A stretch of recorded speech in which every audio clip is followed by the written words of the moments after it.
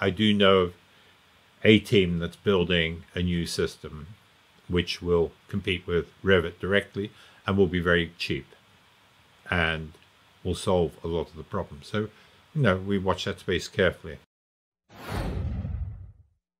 I don't think Revit is flexible enough to it's it's three million lines of C and not everyone it's difficult to get your head around. It was difficult enough originally. It's going to take a new system and it will merge, bring together everything in a very intimate way. One of the problems with Revit is that when you ex export IFCs, industry foundation classes, they're actually quite dumb. There's no linking, there's no information, no parametrics. There's a 3D model, but no, it's it's not sufficient in order to do anything useful. And if you want something useful to go into your HVAC or into your heating model, then you need more information than is available. IFCs, yeah, I agree with you. Not there exactly taking the um, software, exact software data and doing it in the most efficient way, but still like many people still don't use IFC workflow. They either prefer native software if they are Revit users, they want to stick with the other Revit users and they want to collaborate like that. But recently in a couple of years, uh, industry like market, other other software vendors really started to market themselves, really started to put some effort and they started to uh, penetrate the market more efficiently, providing better tools. We are seeing startup companies that are providing new tools, new software products into the market. But one of the problems they're having is that people are having to copy a whole model out, change it, add to it to get it to work in another system. That does not work, and that's expensive. And to copy, I mean, it's not just an IFC model, they need more information. The lowest common denominator of a 3D model is not sufficient if you want to do a structural program. You have to be able to pull out much more information, and the BIM model has that, but the IFC model is 10% of what's in there.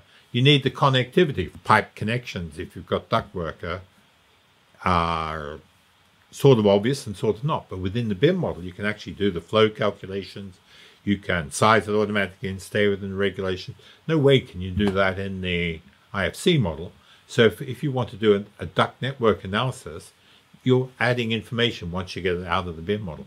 That's wrong. That shouldn't be like that. That is anathema to BIM. That means you've got the copied the data which is, um, I mean, it's a common source of data, sure, but it, you're copying the data each time you want to put it into a different system. That can't go on. And one of the big pushbacks from users, well, one of the many pushbacks from users is doing that.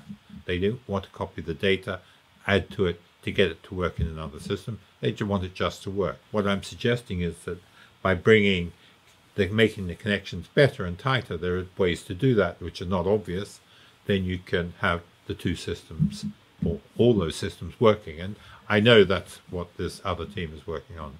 With the IFC, started other vendors started to like rise a bit and saying, "Hey, we are here as well. We can provide, we can collaborate with IFC." So uh, they are trying to like kind of uh, move the monopoly system into distributed to more smaller vendors, and I think this is very important because if this is really done, I think the market will really compete and we will get better products and better results for us as well and faster development because the industry will start marketing them.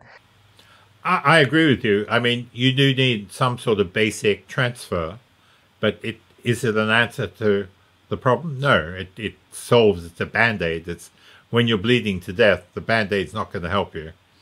And I think it's pretty much that. I think it needs a tighter integration the way you're talking about. And then with that, you will have this ability to communicate and collaborate. I, I, I don't think IFC will change much more unless Autodesk allow it. Autodesk might do a lot better by allowing us direct access into their database and the parametrics and the connections.